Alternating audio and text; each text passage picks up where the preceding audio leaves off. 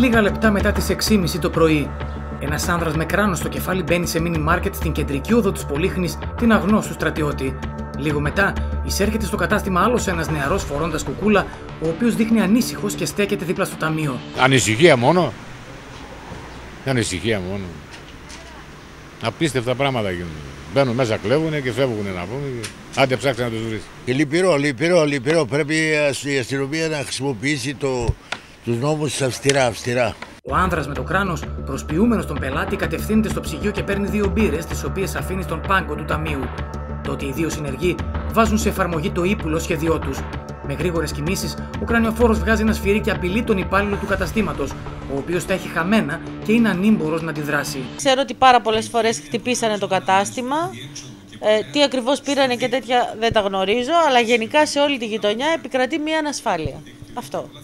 Έχουμε κρούσματα συνέχεια. Σε κεντρικό δρόμο τώρα να Σε κεντρικότατο δρόμο, με μαγαζιά ανοιχτά μέχρι αργά το βράδυ. Με... Είναι τέταρτη φορά που γίνεται αυτό το πράγμα.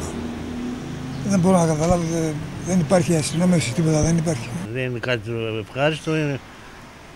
Μπορεί να γίνει και ατύχημα, μπορεί να γίνει και να αντιδράσει κάποιος και να, να, να πάθει και ζημιά. Ο ληστής ανοίγει την ταμιακή μηχανή και αφαιρεί όλα τα χαρτονομίσματα με τη λία του να αγγίζει τα 1000 ευρώ. Τη στιγμή που ο κουκουλοφόρος φίλος του κρατάει τσίλες για να μην γίνουν αντιληπτοί. Στη συνέχεια, οι δύο ληστές αποχωρούν σαν κύριοι από το κατάστημα, με τις κινήσεις τους όμως να καταγράφονται καρέ-καρέ από το κλειστό κύκλωμα ασφαλείας. Όταν άλλος ληστεύει, σκοτώνει και πάει μέσα και την άλλη μέρα είναι όξο, τι περιμένεις; Τι περιμένεις, θα μην το ξανακάνουν; Τι πρόβλημα να έχουν, αφού δεν ξέρουν δεν θα τους κάνουν τίποτε. Δεν υπάρχει έλεγχος. Το βάζω μέσα, το βγάζω. Τελείως. Αυτό είναι. Εύκολο κέρδος.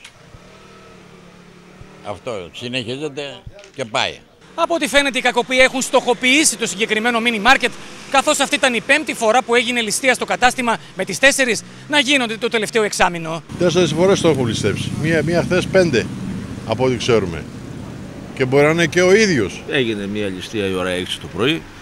Το γεγονός ότι έγινε μια ληστεία στο κέντρο της Πολύχνης για πέμπτη-έκτη φορά, δεν ξέρω πόσες φορές είναι και η ώρα 6 το πρωί που κινείται κάποιος κόσμος, δείχνει ότι έχει ξεφύγει το πράγμα.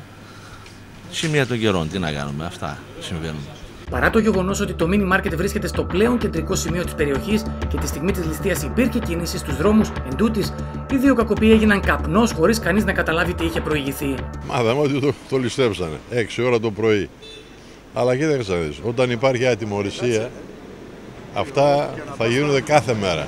Κάθε μέρα. Οι κάτοικοι της περιοχής είναι ανάστατοι, καθώς, όπως λένε, τα κρούσματα εγκληματικότητας πληθαίνουν καθημερινά, με τις περιουσίες τους να γίνονται έρμεος στις διαθέσεις των επιτίδιων. Από την πλευρά της, η αστυνομία προσπαθεί να φτάσει στα ίχνη των δύο ληστών, χρησιμοποιώντας μαρτυρίες αλλά και το υλικό από το κλειστό κύκλωμα του καταστήματος.